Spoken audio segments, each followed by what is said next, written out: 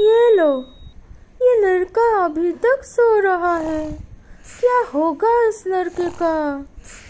क्या करूँ मैं इस लड़के का? ओए पुक्कू तू कब उठेगा? रुक तुझे मैं अभी बताती हूँ। नहीं माँ। अगर देर तक सोए रहोगे तो मैं हमेशा तुम्हारे साथ ऐसी ही करूँगी। बहुत हो गई तुम्हारी नादानी।